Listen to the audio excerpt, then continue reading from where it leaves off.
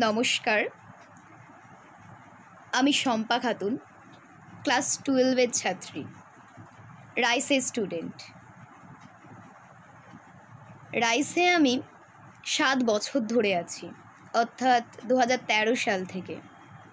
Rice আমাদের শিক্ষা দেয় তাই নয়, রাইস আমাদের স্বপ্ন দেখাতে শেখায়। আমার দেশ ভারতবর্ষ। আমার ইচ্ছা আমাদের দেশের ক্লাসের পরিকাঠামোগুলো পরিবর্তিত হোক।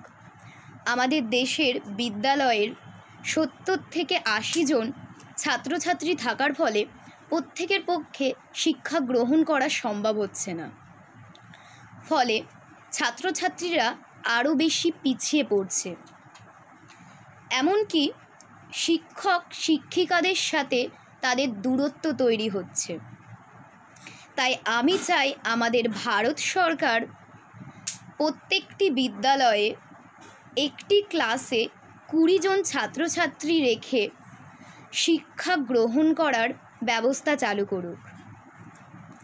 প্রত্যেকটি ক্লাসে একটি টেবিলে চারজন করে ছাত্রছাত্রী বসিয়ে পড়াশোনার ব্যবস্থা করলে আরও বেশি ভালোভাবে শিক্ষা গ্রহণ করতে পারবে আমাদের দেশের ছাত্রছাত্রীরা। ফলে আমাদের ভারতবর্ষকে আর কেউ কখনো পিছিয়ে পড়া দেশ বলতে পারবে না। এটাই আমার স্বপ্ন। নমস্কার।